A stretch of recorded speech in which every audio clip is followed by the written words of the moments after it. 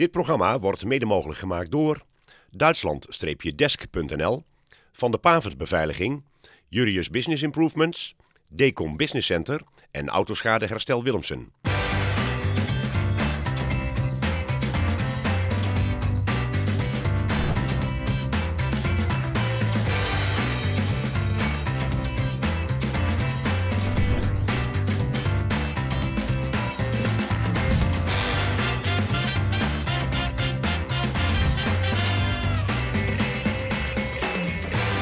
Ondernemers in Oost-Nederland. Fijn dat u kijkt. We zijn zojuist aangekomen op deze eerste zakenmanifestatie van SV Babberich de Liemers. De voetbalclub uit Babberich, de trots van de Liemers om het zo maar te zeggen. En ze houden een heuse zakenmanifestatie. De eerste in hun geschiedenis en die wordt georganiseerd door de commerciële man. En dat is Tom Fits. Straks zien we hem ook nog in deze reportage voorbij komen. Maar er zijn heel veel bedrijven die zich hier presenteren. En van ondernemers en bedrijven daar houden we van. Dus laten we samen even gaan kijken.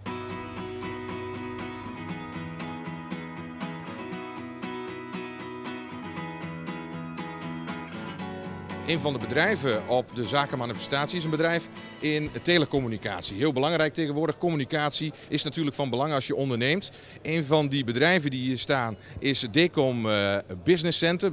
Decom Telecom zou ik willen zeggen. En ik heb hier van doen met... Thijs Schothuis van Decom Telecommunicatie uit Didam.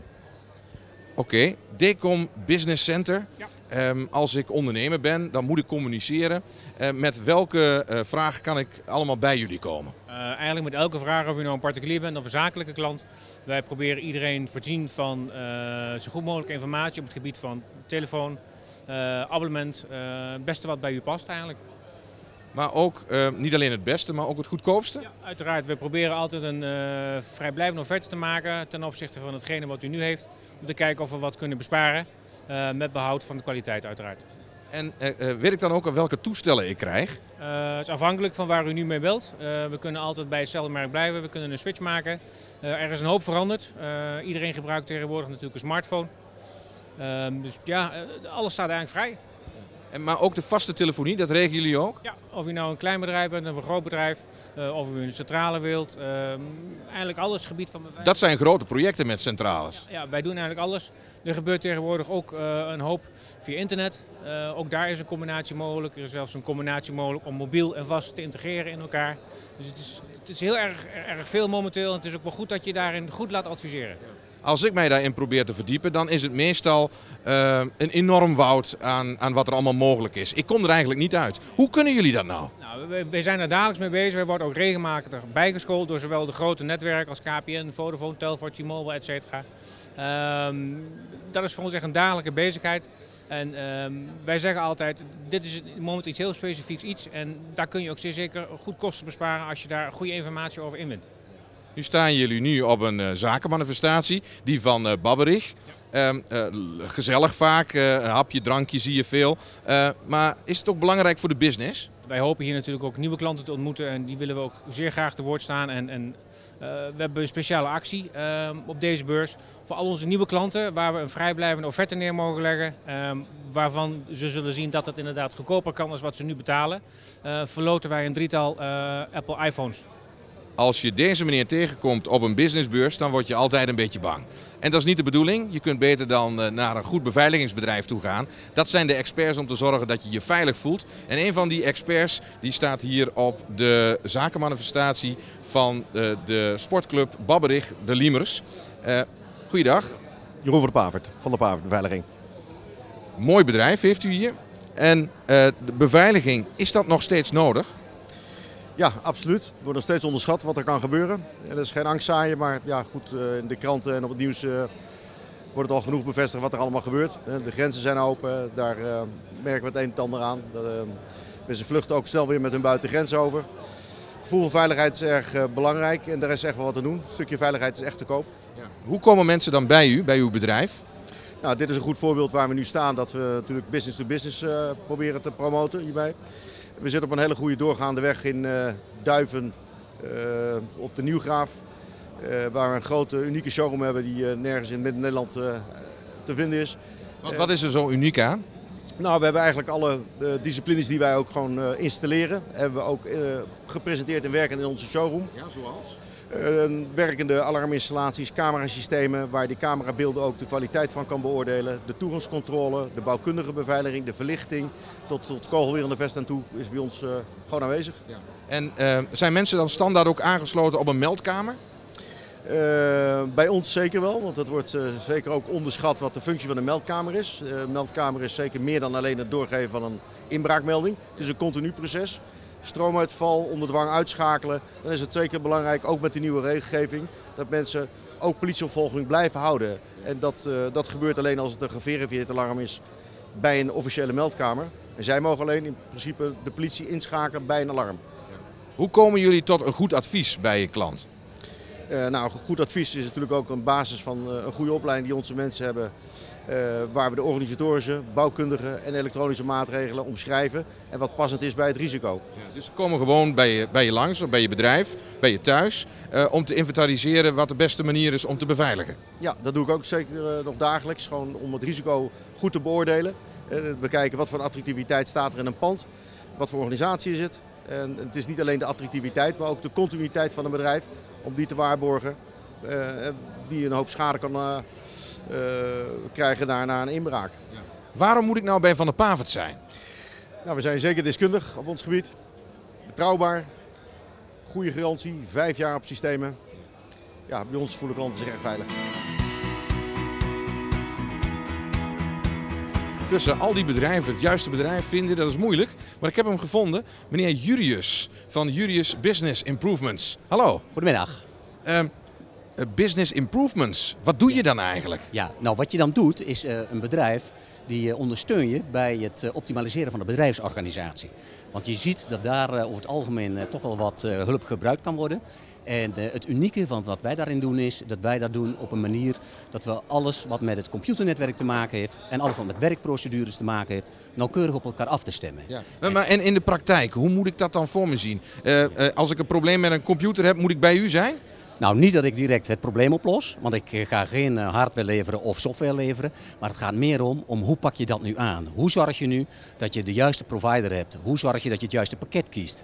Hoe zorg je dat dit pakket juist in de organisatie komt? Ja. En dat al je medewerkers weten hoe ermee om te gaan en ook de andere werkprocedures te doen.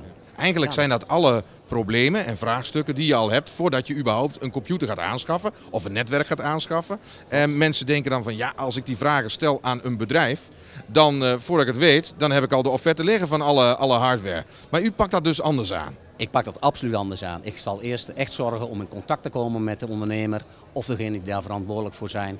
En ga daar samen met hun kijken, wat heb je nu nodig? Hè? Want ik eh, vergelijk het toch met een paar schoenen kopen. Daar ga je naar een winkel toe, ga je passen. Maar met software, hardware, het is de kern van je bedrijf tegenwoordig geworden. Want u weet, meer dan 50% van de werkzaamheden worden gedaan met een computer. En die computer die doet ook heel veel dingen al zelf. Dus je moet heel goed weten, wat wil ik nu? Hoe sta ik in mijn branche? Hoe ziet alles eruit? En dat moet je goed op elkaar afstemmen. Ja. En hoe komen die bedrijven bij u eigenlijk? Hoe, hoe komt u aan de klant?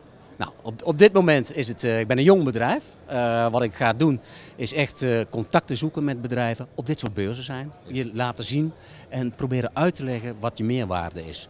Want dat is, daar zit echt de kern van het verhaal. Ja. Mensen moeten echt weten dat je een stukje extra kennis en ervaring brengt die ze vaak zelf niet in huis hebben. Wat is er nou zo leuk om zelf ondernemer te zijn?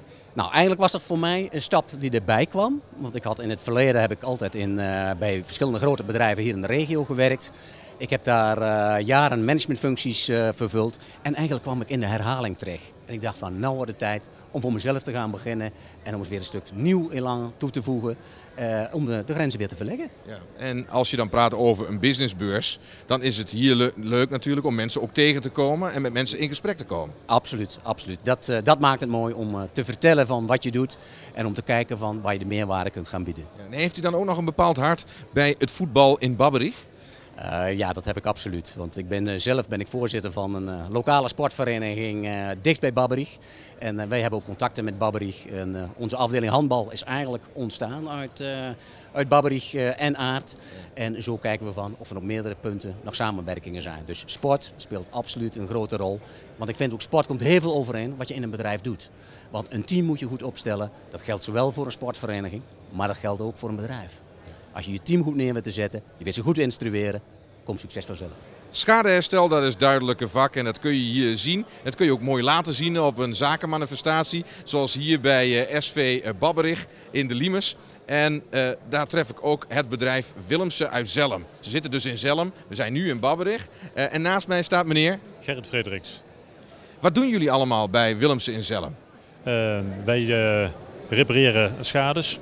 En van kleine schade tot grote schade. Zoals hier te zien is, is het, het uitdrukken zonder spuiten. spotrepair doen we, ruitreparatie, ruitvervanging, schadeherstel voor, voor verzekeringmaatschappijen, voor garages, ook voor particulieren die het zelf moeten betalen. Het hele palet wat met schade te maken heeft of met spuitwerk, dat verzorgen wij. Ja. Als ik nou niet casco verzekerd ben, wat, wat regelen jullie dan voor mij? Dan zorgen wij voor het verhalen van de schade bij de tegenpartij. En helpen met het schadeformulier. We stellen de tegenpartij aansprakelijk. We zorgen dat de schade betaald wordt, zodat het ook snel gerepareerd kan worden en u niet met de rekening blijft zitten. Ja. Nu zitten jullie ook bij een landelijke keten. Hè? Hoe kom je daar zo bij? Uh, we zijn met een uh, autoschadeherstelgroep. 60 bedrijven over heel Nederland verdeeld. De doelstelling daarvan is kennis en vergaren, inkoop, samen bundelen tot je voordeliger kunt inkopen. En de landelijke markt, de grote marktpartijen bewerken, zoals leasemaatschappijen en de, de grote verzekeraars. Ja. Nu, nu staan jullie vandaag hier op een zakenmanifestatie. Waarom? De business to business is natuurlijk ook heel belangrijk. Hier staan diverse bedrijven die ook een wagenpark hebben. En een wagenpark is alles boven één auto.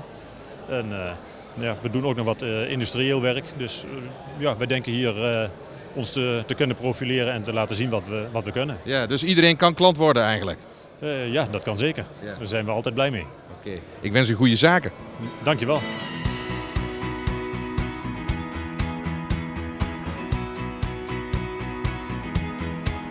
Een reportage over de zakenmanifestatie van Babberich zonder Tom Fitz. Ja, dat kan natuurlijk niet. En ik heb het u al gezegd, aan het eind komen we even bij hem uh, terug. Want hij organiseert zo'n complete zakenmanifestatie voor het eerst in Babberich. En uh, hier staat hij. Fijn uh, bij de tap. Ton, een hele mooie strategische plaats. Hey, maar je hebt het al vaker gedaan, zo'n zakenmanifestatie organiseren, hè? Dat klopt, ja. een jaar of 25 geleden. Toen ik ooit voor de graafschap werkte, hebben wij gedacht om iets extra's te doen voor de sponsoren. En dat was een zakenmanifestatie, hè? want iets meer betekenen voor je sponsoren. Hè? Dus niet alleen maar het geld ophalen en leuke avondjes organiseren, maar ook proberen momenten in te passen dat men volop zaken kan doen met elkaar. Ja. Maar toch doe je het anders dan een normale beurs, alleen maar staan in een stand. Je biedt nog iets extra's, entertainment. Noem eens een stukje van het entertainment. Ja, we hebben vanavond uh, bijvoorbeeld uh, Freddy Heinsel, uh, dus de, de, voorzitter van de Duits-Nederlandse Business Club. Onze eigen voorzitter, Jan Rijn Smit. die vanavond beide iets vertellen over het zaken doen in Duitsland en het zaken doen in Nederland. Daarbij hebben we ook nog een sportcafé. Jimmy en Scott Calderwood. die komen vanavond praten. aangekleed nog eens een keer met Jan Vreeman en Willy van Binsbergen, onze eigen trainer. Ja. En deze mensen zullen ook het een en ander dus, uh, voor uh, vertier zorgen, denk ik. Als je nou nog mensen zou moeten bedanken, uh, want zoiets organiseer je niet alleen. wie zou je dan noemen? Nou, dan zou ik in ieder geval Kaak Event Rent uit Groenlo bedanken. Want zij hebben natuurlijk de know-how en dit is gewoon weer fantastisch geregeld. iedereen is hartstikke tevreden over zijn licht, over zijn stand, noem alles maar op. Ik zou Advo eh, Media zou ik hartstikke willen bedanken. Want die hebben voor alle drukwerk zorg gedragen. En met name dus ook Nancy van Wessel. Want zij heeft natuurlijk ook het een en ander betekend om deze hal beschikbaar te stellen. Um, de zakenmanifestatie, de eerste, 2014. Als je een jaartal erbij noemt, dan heb je ook altijd het gevoel van... nou, dan komt ook misschien nog wel een 2015. Is dat ook de bedoeling? Ja, dat is zeker de bedoeling. En daar zijn we vandaag uh, nog eens een keertje extra door versterkt. Dat er uh, mensen dus uh, zeiden, de, de standhouders van goh Ton, wat gaan we volgend jaar doen? volgend jaar komt er toch wel een vervolg, hè? want we zijn nu aan het opbouwen. En wij zijn de eerste die dus ook meedoen met de zakenmanifestatie. Dus we willen zeker dat er een vervolg komt. Dus in 2015 komt er dus zeker weer een zakenmanifestatie. Nou, dan gaan we daar gewoon op proosten en op het succes. En het programma zit er bijna op. Dus ik denk dat het tijd is voor een lekker biertje. Ton, proost op het succes uh, voor uh, SV Babberich in de Liemers. en voor jou persoonlijk natuurlijk een geweldige bijeenkomst weer. De zakenmanifestatie voor SV Babberich de Liemers. Bedankt voor het kijken en tot volgend jaar zou ik zeggen. Tot dan.